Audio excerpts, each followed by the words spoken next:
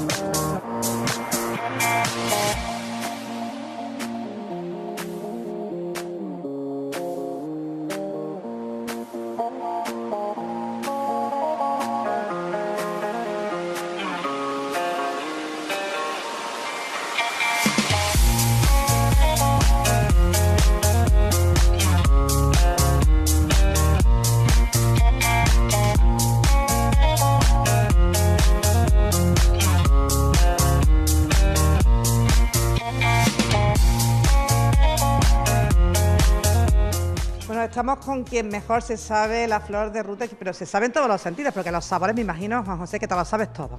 Eso no lo sabemos todos por, por obligación y porque nos gusta mucho, las dos cosas. Bueno, pues de nuevo aquí la Flor de Rute con la misma ilusión. Antes te preguntaba cuánta ilusión tiene, me dijiste, ¿quieres que te dé? Porque yo tengo un camión de ilusión. Ilusión no nos falta, la verdad es que somos gente alegre y nos tomamos los problemas con mucha, primero con mucha naturalidad con mucha entrega y con lo que hay que tomárselo, con alegría, un sentido del humor y vamos para adelante. No queda, otra. Este año de nuevo, la Navidad llega y llega, por supuesto, a Rute, llega aquí eh, a, eh, a poner en mantel y a poner en las mesas todos vuestros productos.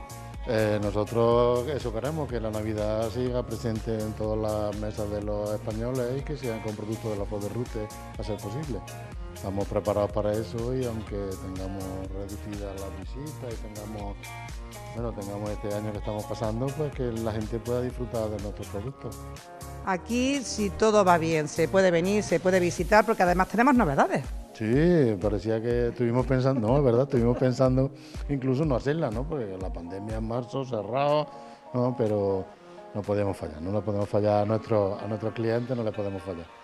Así que en eso estamos, hicimos nuestra figura para este año y, y bueno, aquí están, por si las queréis ver. Bueno, tenemos la obra de Sydney. ¿Cómo se te ocurre decir una u otra? O sea, ¿cómo escoges tú? Eh, son sueños, son, que, pues no sé cómo decirlo, eh, los sueños, ves que es un edificio emblemático, aparte de ser también monumento de la humanidad, eh, son monumentos que te quedan impactados por vida una vez que los ves, ¿no? Y te comentaba antes, llevaba dos años yo soñando con hacer esto, pero de esto que no, que no, que no te atreves. Y ya este año digo, mira, este año lo vamos, lo vamos a intentar, bueno, y ahí está el resultado. Prácticamente terminado en octubre, hace Sí, muy sí, poquito. Hace muy poquito, vamos, abrimos oficialmente el 11 de octubre, que era la fecha del Pilar. Y mira, el, el día 4 terminamos, digamos, de ponerle la, la tela a la peana. O que fue en contrarreloj y en la línea de meta. Juan José, lo que estamos deseando es de abrir esa puerta y de que pase la gente y que disfrute. Sí, sí, sí, nosotros hacemos esto con mucha ilusión, que sabemos que la gente lo disfruta, que hay una visita muy agradable, muy cómoda, cambiamos el sentido hace ya un par de años, el museo es muy amplio, tiene todas las medidas contra el COVID que hay que tener, tiene ventilación, tiene mascarilla obligatoria, hidrogel, eh, tiene todo. Y lo- por supuesto los aforos están muy controlados, no entran más personas a las que tienen que entrar. Y las visitas que hemos tenido pues, han sido muy responsables, hay que decirlo, y la verdad no hemos tenido absolutamente ningún problema con nadie. Cuando lo hemos explicado, mira, la aforo está lleno, ya no comprar ningún problema. Se han quedado la puerta, han charlado un poquito, ya podéis pasar. En ese aspecto yo creo que la gente eh, muchas veces nos quejamos de que no son, pero sí son responsables. Y hay que, a esas personas que son responsables hay que, hay que aplaudirles su, su, su buen hacer. ¿no? En el caso de que por cualquier motivo no se pueda venir aquí a la Flor de Rute, a cualquiera de los sitios para comprar y llevarse los productos, ¿qué podemos hacer? Lo podemos pedir por internet. Tenemos una página web que ya lleva, la verdad que lleva muchos años, de lo cual nos alegramos mucho en www.laflorderrute.es y ahí hay de todo. Lo que tenemos en la fábrica lo tenemos en la página. Eh, te registras, para hacer el pedido, hay torta gratis a partir de 50 euros. Si te registras puedes mandarle también a tu vecino, a tu primo, a tu tía, a tu abuela, a tu suegra Pedazo de regalo. pedazo de regalo. Eso que en eso no hay ningún problema. Y funciona, funciona muy bien. Nosotros sabíamos que se iba a mover este año eso más y hemos reforzado el tema de logística y hasta el momento está funcionando perfectamente. Bueno, pues ya lo están viendo. Tenemos dos opciones. Una es venir aquí a la Flor de Ruta, nos pegamos un paseo por este pueblo espectacular que además se come, vamos, increíblemente bien, como todos los pueblos de nuestra provincia, o eh, pedirlo por internet. Ya lo están viendo, ya le han dicho la página web y nosotros también lo repetiremos porque nadie se puede quedar sin Navidad y la Navidad se llama la Flor de Rute.